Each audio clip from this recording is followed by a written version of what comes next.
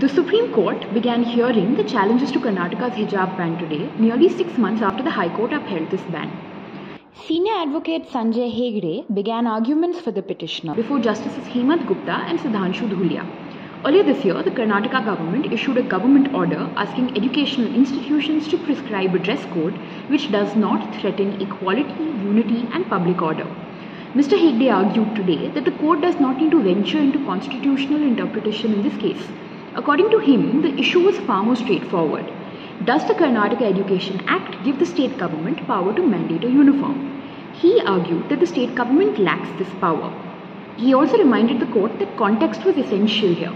The uniform rule, according to him, disadvantaged women by absolutely restricting them from accessing education merely on the basis of their clothing.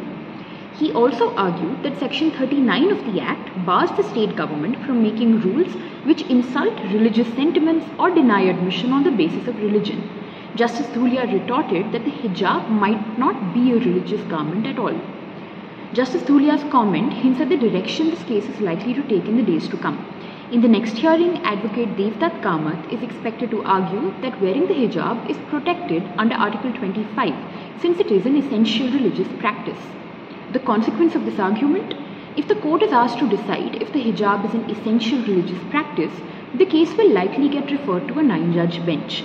The Sabarimala case, where the court must decide what an essential religious practice is, has been pending before a nine judge bench since 2019.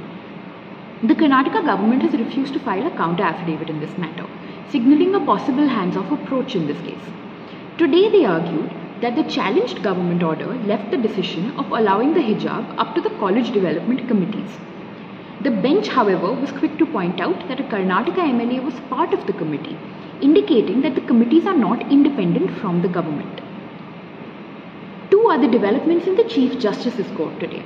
CJI Lalit and Justice Bhat reluctantly issued notice in ex-BJP spokesperson Ashwini Kumar Upadhyay's petition asking for the creation of uniform divorce, alimony, succession and inheritance laws.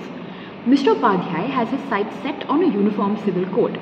The bench worries that this is a policy concern not fit for the courts to decide. The same bench also slotted hearings in challenges to ED Director Sanjay Mishra's tenure extension for September 19th. Leaders of the Congress and Trinamool have come to argue have come to court arguing that dangling extensions before the heads of critical institutions like the CBI and ED endanger their independence.